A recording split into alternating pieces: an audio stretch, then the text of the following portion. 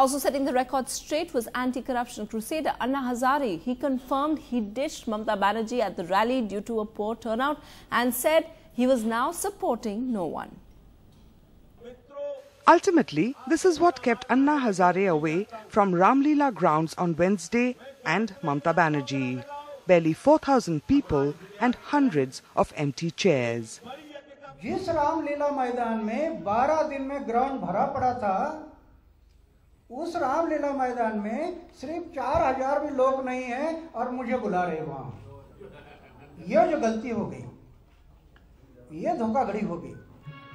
But who was to blame for that Anna's own people or the Trinamool not us says Mamata's man he has not finger his hand towards Trinamool in a way Anna blamed one of his own aides for treachery आपको सुनना है तो मैं ये स्पष्ट बताता हूँ कि संतोष भारतीय ने ये मेरे साथ धोखाधड़ी किया।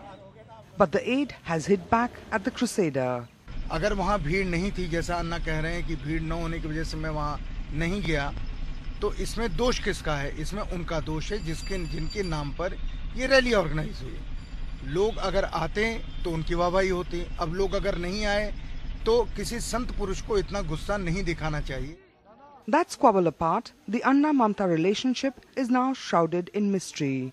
The two were supposed to do a joint rally at Ahmedabad on 20th March, but that is now up in the air.